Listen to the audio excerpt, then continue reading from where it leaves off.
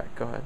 Uh, yesterday we set a goal for the guys team to have um, five men as our five fastest times in the history of Bonaventure, and that kind of starts here because it's a fast course, and we uh, we expect to do well here. You know, it's our first 8K for some guys, and we have four freshmen in the top seven. But you know, if we can meet that goal, that would be really great for us this year.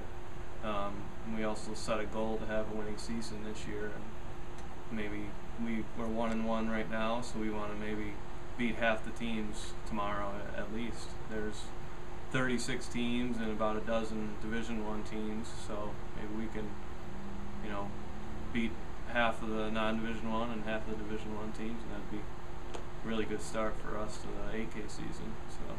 Do you have any? Is there any goals for the women's team? Uh, for the women, you know, like I think that they are trying to do the same thing and have a winning season. Um, I know that uh, our best runner, Katie Weisner, she is hoping to be like right up in the front of the race. So um, if they have three girls in, in 19 minutes, I think that would be really good for them. And maybe by the end of the season, they'll have five. But that also starts with them. This is their second 5K of the season. But to improve on uh, their their time from the first race would be uh, a good step in the right direction for them.